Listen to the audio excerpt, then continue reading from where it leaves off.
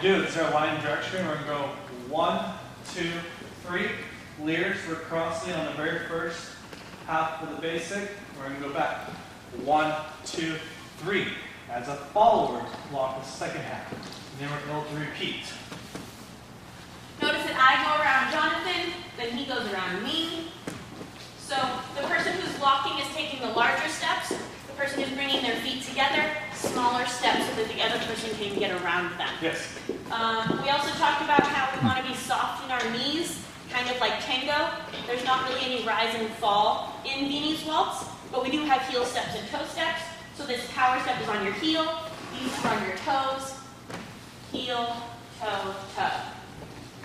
And those, those soft knees help us to walk easier. If we have straight legs, we tend to fall over if we try to walk.